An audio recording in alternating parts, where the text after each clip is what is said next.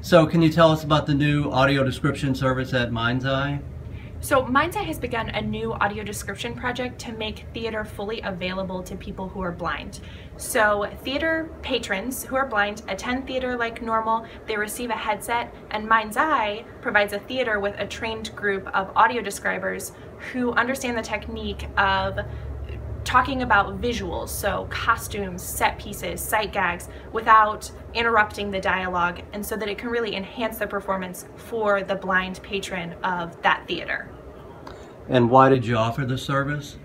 So we began offering this service as because we saw this need. People who are blind attend theater productions, but there's a lot that they're missing. There's a lot that is is visual, and it's something that people who are sighted don't always realize um, because we take in these visuals without thinking about it. So a great exercise is to close your eyes and experience theater and and you realize that you have to whisper to the person next to you you know what's going on. And we want people who are blind to have that independence of going to the theater and appreciating everything um, as you know right alongside their sighted peers